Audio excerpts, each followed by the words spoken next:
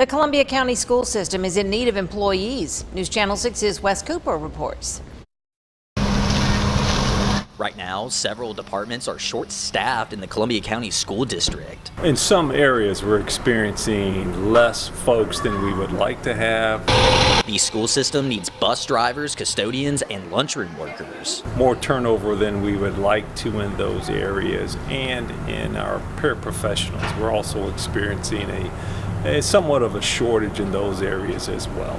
The school system's chief human resources officer says they were short of their 230 bus driver goal to start the school year. Currently, there are a little more than 200 drivers. We have typically about 225 routes.